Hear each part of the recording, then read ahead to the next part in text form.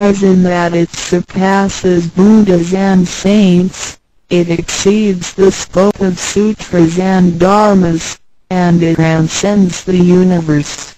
Tao is therefore source of all sutras, king of all dharmas, mother of all Buddhas, and creator of the universe.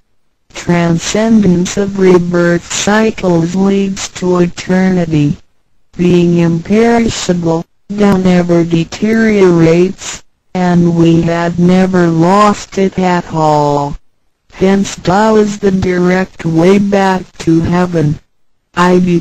What do I get in RECI beginning DAO as mentioned earlier, by receiving Tao, we act upon our conscience, gain more wisdom, and find the door to heaven. In addition to these basics, we also benefit from the following for our lifetime. A. Being away from sufferings and closer to happiness the troubles and worries we face in our daily lives mostly result